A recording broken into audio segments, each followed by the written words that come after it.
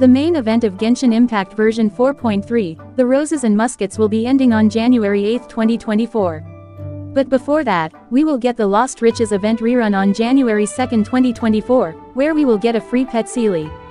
In this event check the treasure map within Ullman's treasure book, and follow the map to reach the area where the treasure is buried. Ullman will mark one new area in this book every day, and will mark a total of six different treasure areas. Summon the Seelie, which will help you to find one treasure location after collecting three energy emissions. After completing this event we will get a free pet Seelie, 420 Primogems, Hero's Wit, Mora, and other materials. But remember, to unlock this event, you need to reach adventure rank 20 or above, and need to complete the Archon Quest Prologue Act 3. I'll make a detailed video about the total Primogems we can get on version 4.4 as soon as possible, so don't forget to subscribe. So, what do you think? Are you excited for this event or not? Let me know on the comments and please like this video.